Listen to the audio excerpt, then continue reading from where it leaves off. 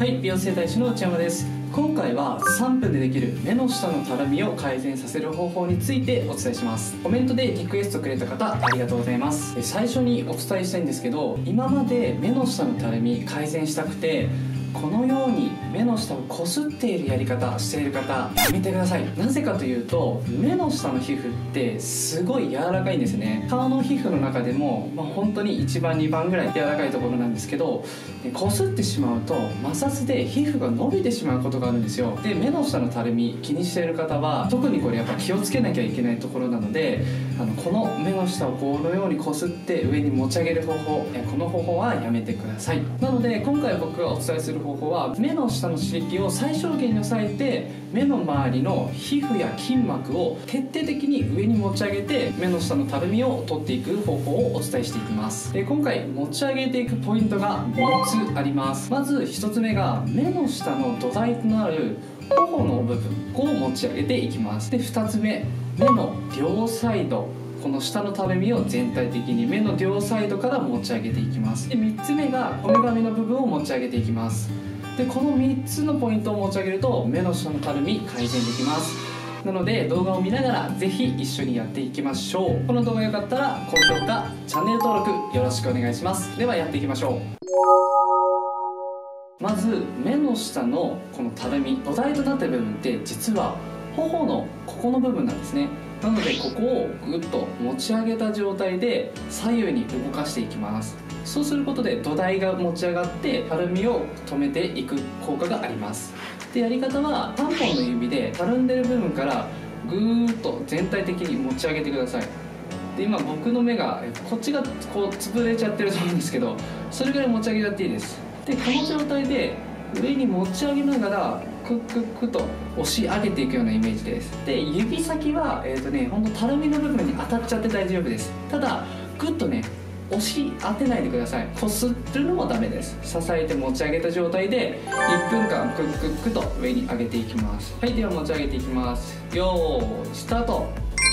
このようにグッグッグと上に持ち上げてください。でね指先でね目の下をね押さないでくださいね。押しちゃうと目痛くなっちゃうんで。こんな感じです。グッグッグと上に上げてください。でここの頬の部分はさっき説明したようにストッパーになってるんですね。だからここが持ち上がってくれるだけでこのたるみにくくなりますしたるんだ印象もね改善できるので、ね、ぐっと持ち上げていきましょう。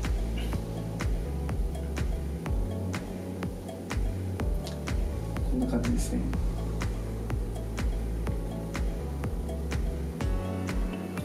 あともうちょっとです。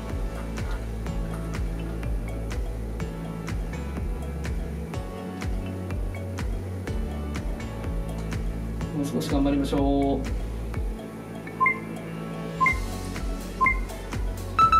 はいいいですよ。今ここの目の下の頬の部分を持ち上げていきました。これだけでもね目ちょっと上がってるのが分かりますでここからねさらに上げていきます。はい今度は目の両サイド。このたるみの両サイドをピースを作ってこのように当てていただいてこのようにグッと上に持ち上げていきます。このこことここはしっかり押さえてください。ここに皮膚薄い部分じゃないので大丈夫です。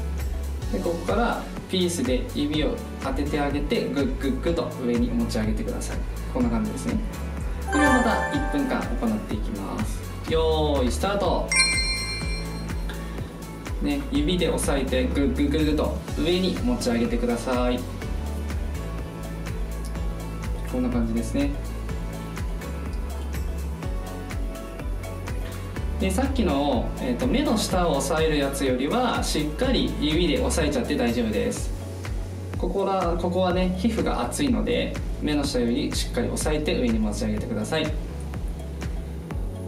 でここ刺激してあげると血流も良くなって血流が良くなることで目の下のたるみやあとねクマの改善の効果もあります、えしっかりやっていきましょう。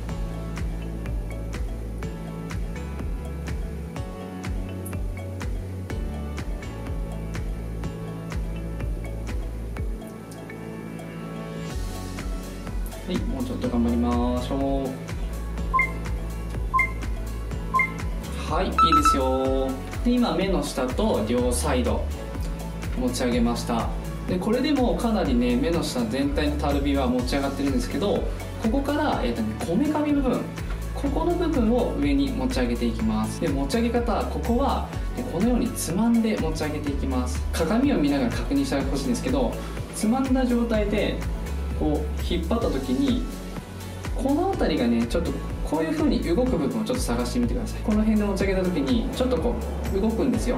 でつまみにくい方はティッシュなどを使ってつまんじゃって大丈夫ですでそこのさっき動いた部分を重点的にグッグッグと上に上げていきます。はいではここをつまんでいただいてこの鏡でここのまぶたの下のたるみが上に持ち上がる部分を探してつまんでみてください。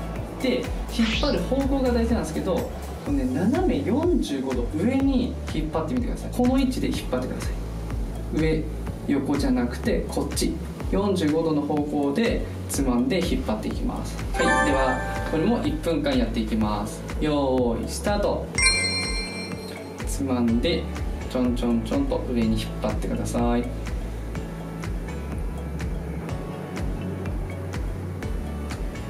で引っ張る方向は45度。こっちの方向ですね。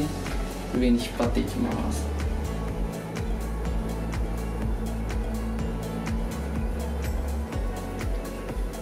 でこれ鏡見ながらしっかりこのまぶたの下のたるみがねこうキュックックと上に上がってるのをね確認しながらやってください。でこのねこの部分ちょっとつまみにくい方はティッシュ使って指先がね滑らないようにするのもすごくいいです。こんな感じですね。もうちょっと頑張りましょう。はいいいですよ。お疲れ様でした。はいどうでしょうか。3分やっただけなんですけど目の下がねこう上に上がっていてたるみが改善できていると思います。この方法即効性もあるんですけど定期的にやっていただくのがおすすめです。回数としては1日1回を1ヶ月間続けてみてください。回数を重ねるごとにやっぱたるみはどんどん改善していきますのでぜひ実践してみてください。今後美容に関することで体の悩み顔の悩みありましたらコメントください。リクエスト受付中です。Twitter と Instagram もやっています。フォローしていただけるととても嬉しいです。最後までご視聴ありがとうございました。